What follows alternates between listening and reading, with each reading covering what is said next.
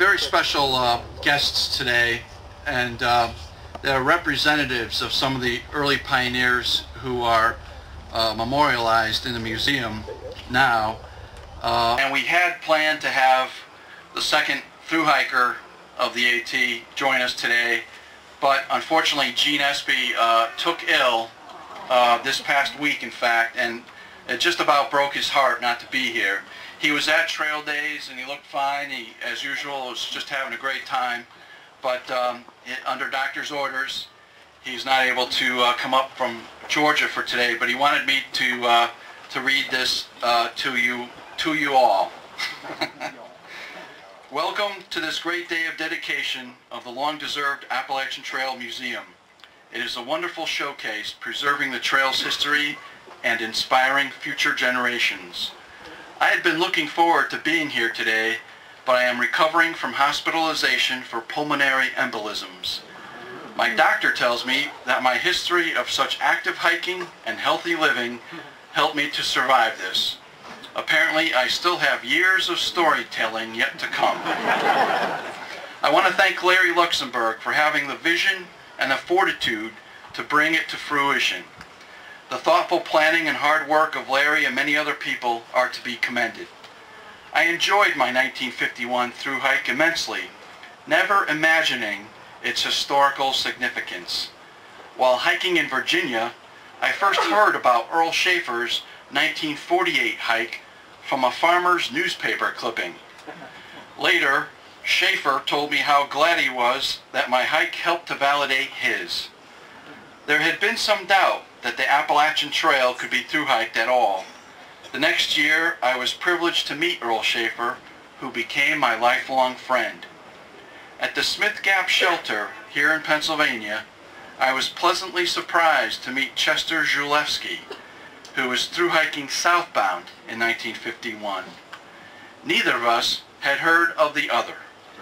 His completion of the trail a few days after mine made him the third through Near hiker, I had the pleasure of meeting Benton MacKaye, the trail's visionary, and Myron Avery, who helped lay out the trail.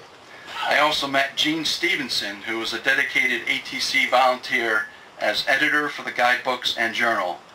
The Appalachian Trail and its hiking community of people and activities are dear to my life. I feel privileged to be a part of it. I always enjoy hearing about other people's hiking experiences. I look forward to visiting this great museum someday soon. Have fun and happy hiking to all.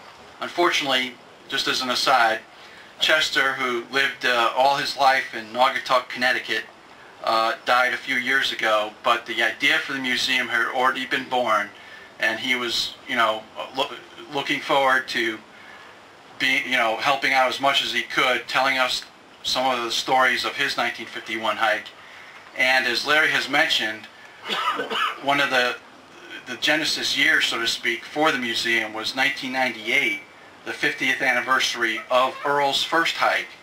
And to celebrate that at the ALDHA gathering that fall, with, with Larry's hard work, we brought together some of the uh, early pioneer hikers and some of the representatives of those hikers.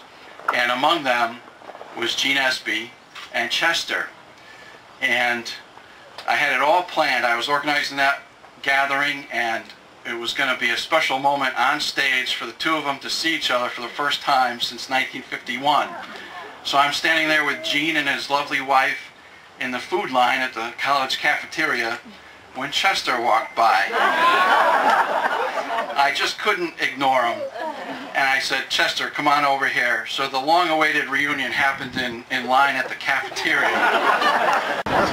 But it was still a special moment that night, one that everyone who was there will never forget, especially when they were reminded that when they met each other near Wind Gap, Pennsylvania in 1951, it was the very first time a northbounder ever passed a southbounder on the AT. Here today, though, in person,